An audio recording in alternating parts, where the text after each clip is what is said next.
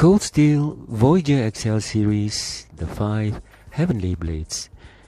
Apa khabar kawan-kawan subscribers dan YouTube semua? Ya, semoga anda berada di dalam keadaan yang sihat ya bersama keluarga yang tercinta ya. Dengan tajuk di paparan gambar kecil video, ya minggu ini saya ingin berkongsi ya pengalaman saya bersama koleksi pisau lipat Cold Steel Voyager XL Series. Saya kira mata bilah yang sepanjang 5.5 inci ya adalah batas garisan bagi pisau lipat ya buat diri saya sendiri ya sebelum saya beralih kepada pisau fixed blade ataupun pisau legat. Begitulah saya dengan koleksi bilah Voyager XL Series yang merupakan siri pisau lipat untuk pelbagai kegunaan dan keadaan dan Cold Steel juga telah berjaya membawa jalur sejarah persenjataan dan peralatan pada tangan pengguna yang mengikut reka bentuk pilah yang mencerminkan seni budaya di serata dunia.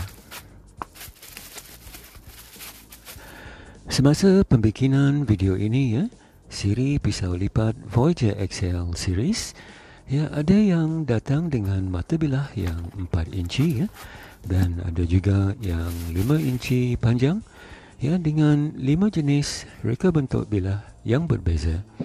Dengan dua jenis mata bilah yang bermata biasa ataupun plain edge ya seperti apa yang saya ada di video ni ya dan juga yang bermata gerigi atau serrated edge uh, kesemua bilah ya berkongsi sifat-sifat ya yang menjadikan Voyager XL series ya pilihan utama bagi semua peringkat pengguna. Voyager XL series ya dibuat dengan begitu mantap dan tahan lasa. Ya boleh diharapkan ya semasa memburu ataupun berkemah atau saja digunakan sebagai alat perkakasan am ya untuk kerja-kerja memotong seharian.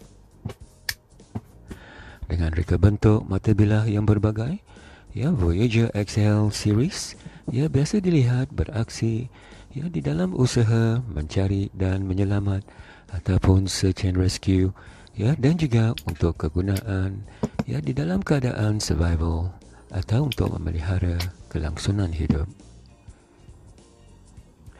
Saya percaya ya bagi setiap bilah yang ada pada Voyager XL series ya pasti ada satu ya yang sesuai bagi setiap pengguna ya mengikut cita rasa dan cara penggunaan masing-masing.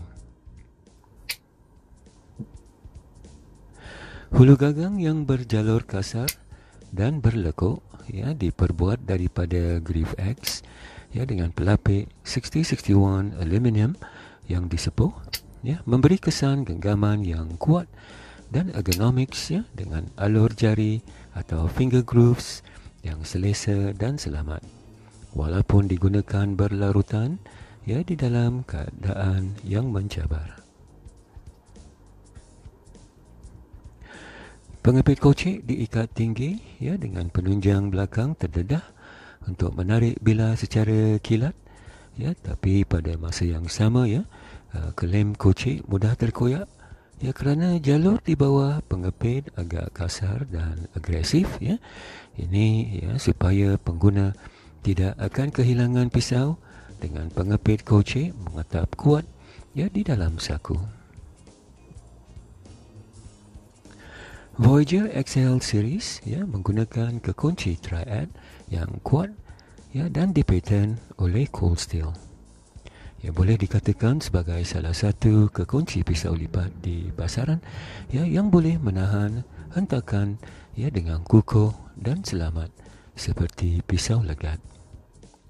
Kekunci triad adalah hasil ciptaan Andrew Damko ya juga yang bertanggungjawab di sebalik kancing ibu jari ataupun thumb stud ya dan bersama Lynn Thompson yang mengeluarkan reka bentuk pisau lipat Voyager XL series. Mata bilah diperbuat daripada besi stainless steel Osten A dari Jepun ya, yang tegar dan memegang ketajaman mata pisau dengan kukuh dan pengguna boleh menjangka mata bilah akan diasah tajam langsung dari kotak dengan asahan rata atau full flat grind dan melengkung ataupun hollow grind.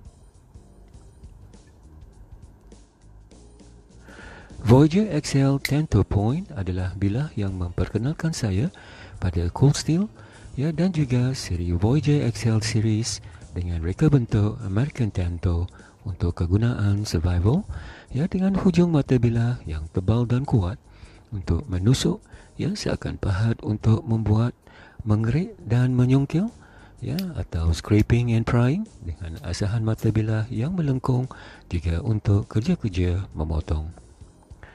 Voyager XL Clip Point pula adalah reka bentuk bilah yang serba guna ya untuk kerja-kerja ya di tempat perkemahan, mengulit dan melapah atau skinning ya dan juga untuk membersihkan hasil pemburuan atau field dressing ya dengan asahan rata bersama hujung mata bilah yang condong untuk menusuk memecahkan permukaan kulit.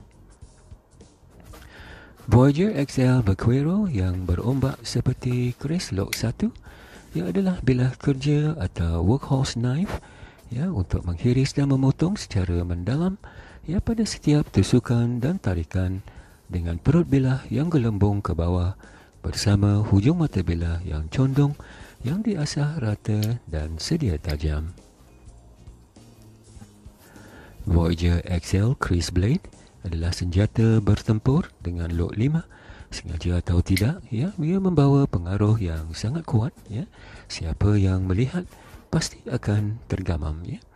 Chris Blade adalah bilah taktikal yang mempunyai hujung mata bilah yang tebal kuat dan tajam ya buat menusuk dengan mata bilah yang berlok untuk memotong dengan lebih mudarat.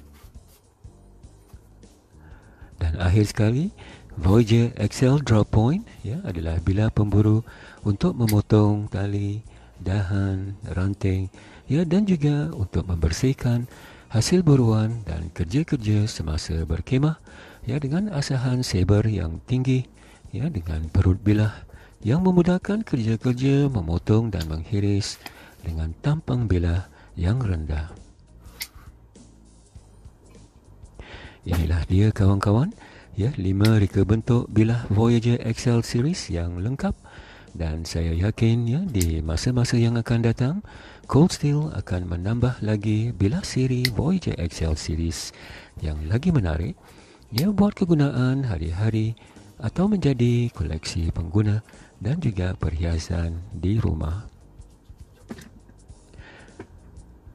Sila letakkan komen anda di bawah ya bilah Voyager XL series yang mana jadi pilihan ya atau mungkin ada yang sudah menjadi kegemaran anda ya?